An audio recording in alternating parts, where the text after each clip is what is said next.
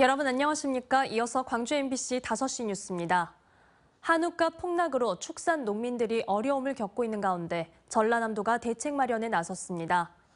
전라남도는 오는 21일 도내 축협 조합장 등이 참석한 가운데 긴급 회의를 열고 한우 사육 농민들의 어려움을 줄이기 위한 전라남도만의 대책을 마련하기로 했습니다.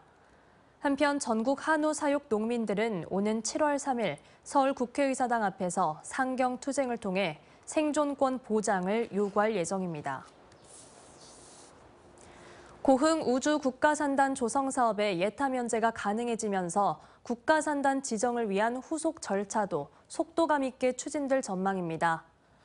국토교통부는 최근 고흥 우주발사체 국가산단 조성 사업이 국가정책 사업으로 결정됨에 따라 예비 타당성 조사 면제를 위한 절차를 신속하게 마무리하고 고흥군과 관련 기업의 의견 수렴을 거쳐 내년 상반기 안에 산업단지 계획을 수립할 예정이라고 밝혔습니다.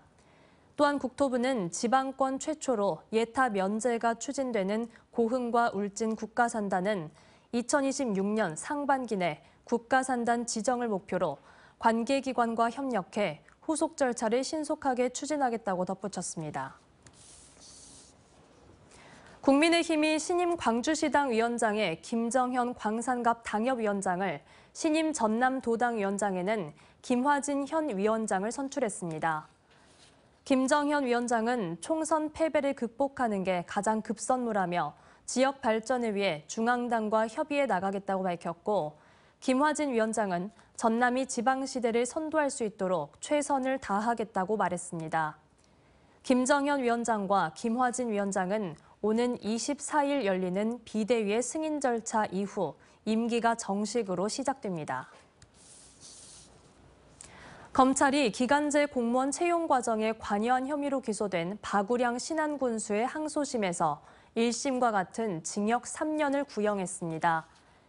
오늘 광주지법에서 열린 결심 공판에서 검찰은 박 군수가 우월적 지위를 악용해 범행을 주도하고 증거를 은닉하고 손상까지 했다며 구형 이유를 밝혔습니다. 박 군수는 지난 2019년 6월부터 이듬해 2월까지 9명을 군 임기제 공무원과 기간제 근로자로 채용하도록 부당하게 지시한 혐의로 기소됐으며 선고 공판은 오는 8월 21일 열릴 예정입니다.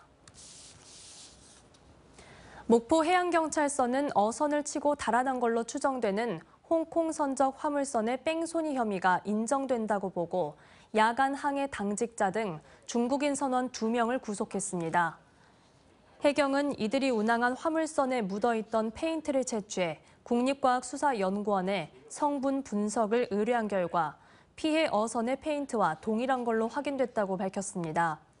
지난 13일 신안군 가거도 해상에서 발생한 이 사고로 한 명이 숨지고 두 명이 실종된 가운데 해경은 선장 등을 상대로 추가 조사를 벌이는 한편 실종자 두 명의 수색을 이어가고 있습니다.